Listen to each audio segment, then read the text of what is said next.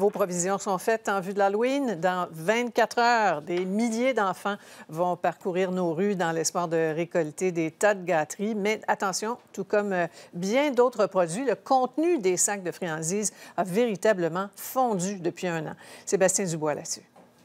Alors, on s'attendait à des bonbons plus petits, mais cette année, c'est vraiment frappant. Si vous avez commencé à fouiller dans le plat de bonbons d'Halloween, vous avez peut-être remarqué que les quantités contenues dans les emballages ont légèrement diminué. C'est le phénomène de la réduflation. C'est le même emballage pour moins de bonbons. Alors, il faut se poser la question, est-ce qu'on a trop d'emballage. Est-ce qu'on utilise trop d'emballage maintenant?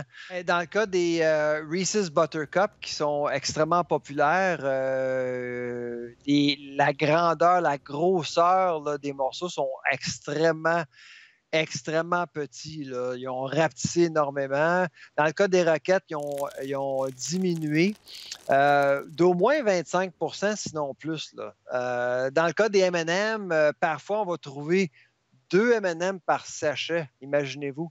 C'est beaucoup de travail pour deux, euh, deux morceaux euh, simplement. Des changements qui s'expliquent notamment par la hausse du prix du sucre qui atteint un niveau inégalé depuis 2011. Ajoutez à cela le prix du cacao qui atteint un sommet en 44 ans vous l'avez remarqué que ces prix-là ont augmenté?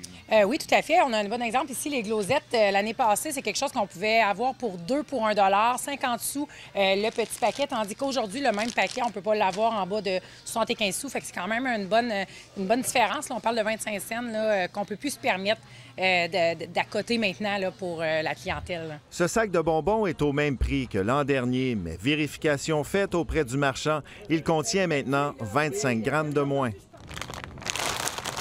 les prix n'ont pas tellement changé par rapport à l'année passée. C'est juste qu'en raison de la réduction, on obtient moins le même prix. Alors, les, jeunes, malheureusement, vont devoir visiter plus de maisons pour obtenir la même quantité de bonbons cette année. Et M. Charlebois estime que le ménage moyen va investir de 25 à 40 dollars de son budget pour les bonbons d'Halloween.